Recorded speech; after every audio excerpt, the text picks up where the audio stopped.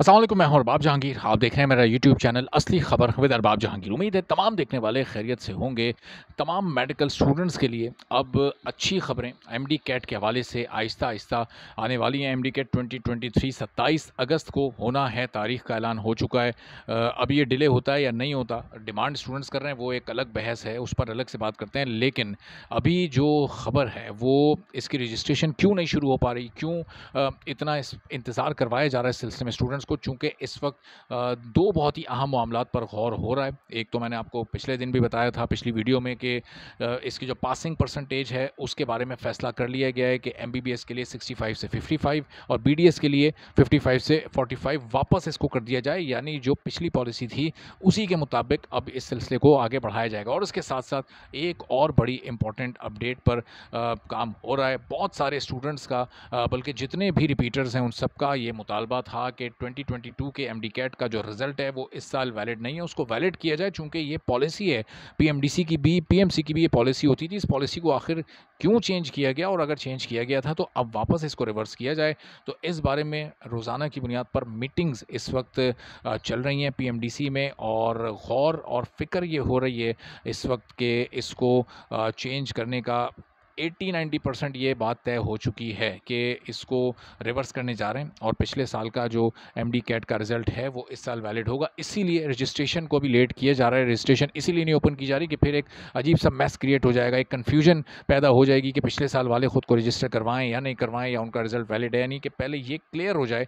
जितनी भी इसमें मीटिंग्स होनी है, वो सब कुछ, वो सारी मीटिंग्स पहले हो जाएँ और रजिस्ट्रेशन जितना लेट होगी तो ऑटोमेटिकली इंतज़ाम सारे लेट होते जाएँगे और फिर जो स्टूडेंट्स की डिमांड है कि एम डी कैट को एक महीना डिले किया जाए तो वो ऑटोमेटिकली सिचुएशन डिले की तरफ़ चली जाएगी। तो आ, लेकिन अभी ये सब ज़ाहिर है कि हो सकता है कि डिले ना भी हो। स्टूडेंट्स की बैरल डिमांड है लेकिन अब देखना ये कि डिले का फ़ैसला होता है या नहीं होता या फिर जो महदूद और मुकर टाइम है उसी में सारे इंतज़ाम करने की कोशिश की जाती है।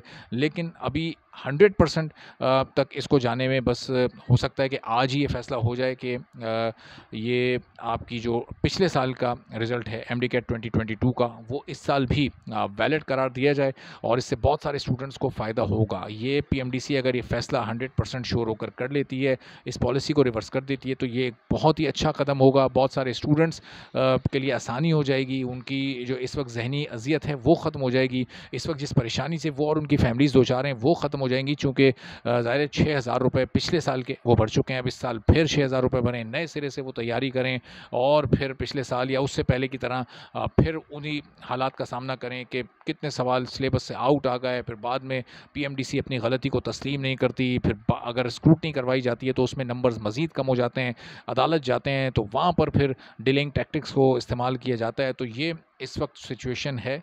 रजिस्ट्रेशन को इसीलिए ताख़िर हो रही है, उसकी डेट अभी एक फ़ाइनल इसीलिए अलाउ, इसीलिए अनाउंस नहीं हो पा रही कि पहले ये सारे मामला तय हो जाएँ।